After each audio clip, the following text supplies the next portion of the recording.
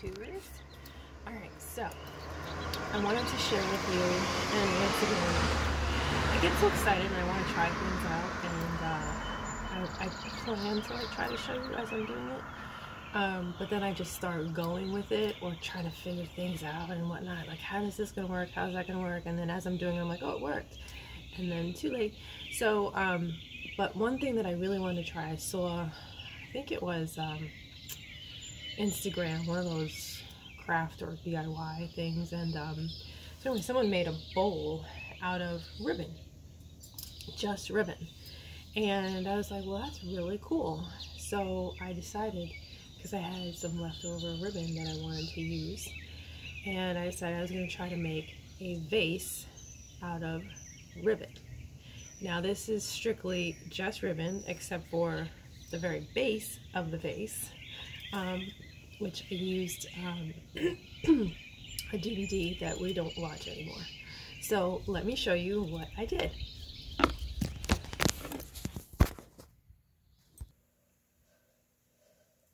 All right, so this is the vase. All right, what I did was I laid down, um, and I happen to have a cork topping to the desk that I built. Um, I did not do this on purpose. It just happens to work out and be a great thing. But anyways, I put down um, cellophane wrap, uh, plastic wrap, and I laid that down.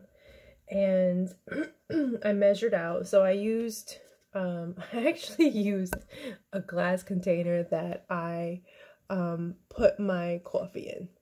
And um, so I used that to kind of guide me and take the measurements of all the ribbons.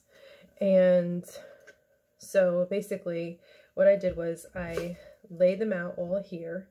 Um, I stuck um, pins, like T-pins, all right? Um, I also have push pins that I used. And I basically um, pin them all down. I forgot I actually have some in the garbage. so I just took some out so I can show you. Alright, so basically if this was the one coming down, don't step on that later. But this is just for show. All right.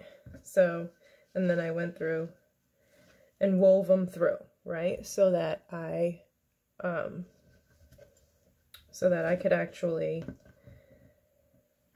keep the form of what I wanted. And then I Mod Podged the heck out of it. and, uh, I did, so I did one side and then I did, I flipped it over, I did the other side. Um, and then what I did was I got a DVD.